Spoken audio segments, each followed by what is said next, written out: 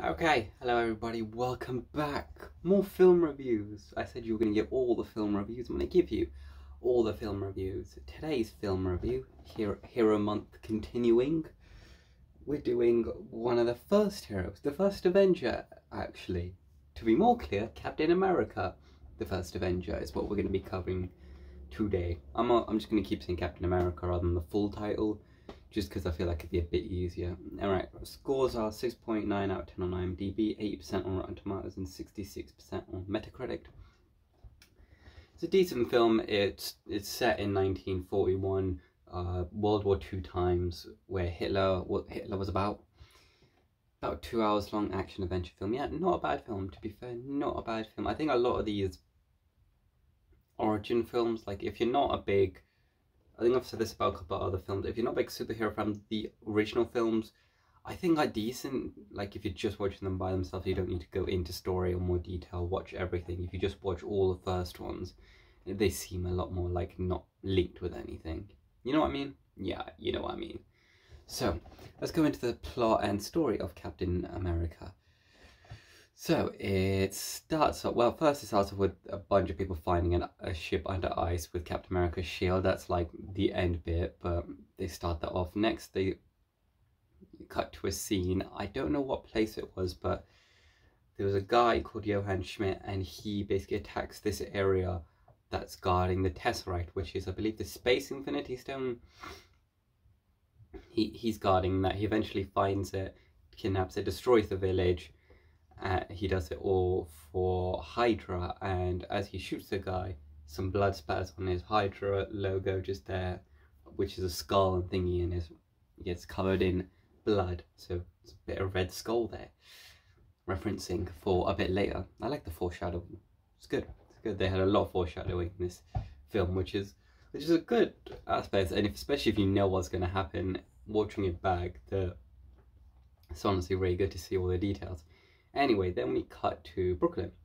You see this very skinny kid, very short kid, probably like five two or something, very short kid.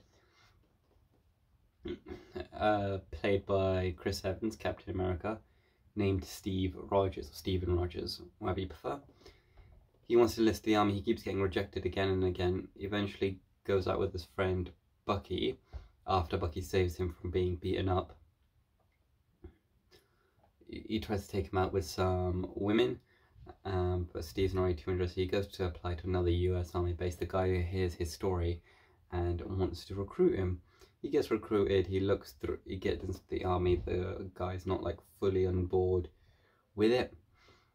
The uh, the main army guy, the sergeant lieutenant, I don't know what they're called, but yeah, whatever that guy, they eventually start going. There's a scene where they're all running, they're halfway through, there's like, if you can get the flag, you can just get a ride back. No one can do it. Steve figures it out. He gets the flag, heads back. because he's going to be selected for a super secret soldier serum to like make him strong and like a new hybrid. They're not sure, the, the main army guy's not sure why he wanted to do it. He throws a dummy grenade and he throws himself on it to protect the rest of his soldiers. So he's got heart, he's got that kind of uh, integrity. Sorry, my apologies. Then they go off, they make the serum, he becomes Captain America, it all goes well.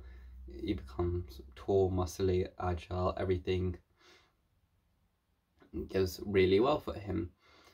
But they won't let him fight in the army right now, so they make him this figure called Captain America, and they use him as like an American idol. He does like shows and performances and all that stuff multiple times and then eventually he gets sick of it. He gets into the art he does it for the army and then he gets told by the army that a bunch of soldiers are in trouble. So he personally goes out and saves them by himself frees everyone and it all goes pretty well.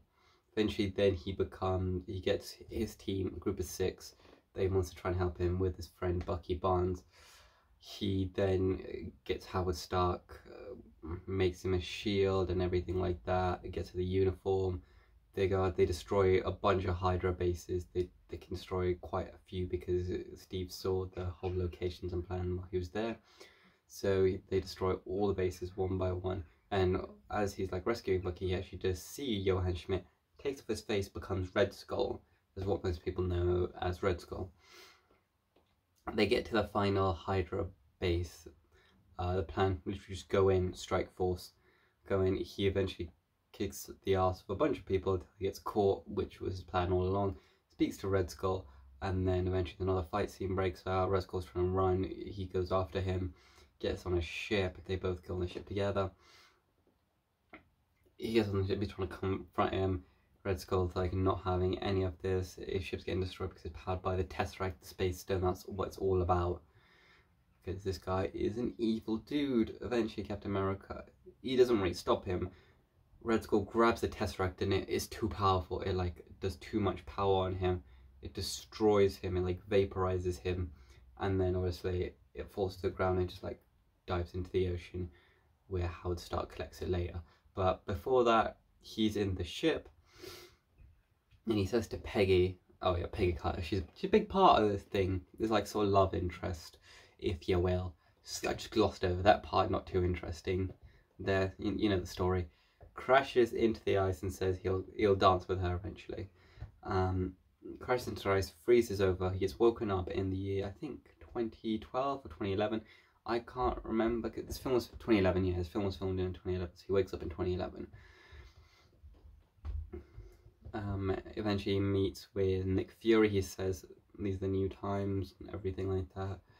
And then, yeah, the film just ends there. And if you haven't seen like the end bits there, there's a trailer to The Avengers, which I'll be covering another time. But in terms of this film, it got apes and, yeah, it's not a bad film. I think 7 out of 10 is fair enough. I'll see for First Avenger, it's not a bad film. It's not like bad concept or anything like that.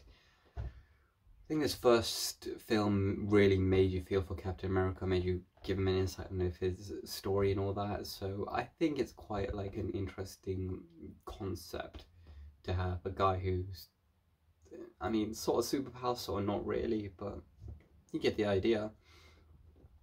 So that's Captain America for you. Hopefully you enjoyed, and I will see you for another hero film review tomorrow. Right then, bye subscribe.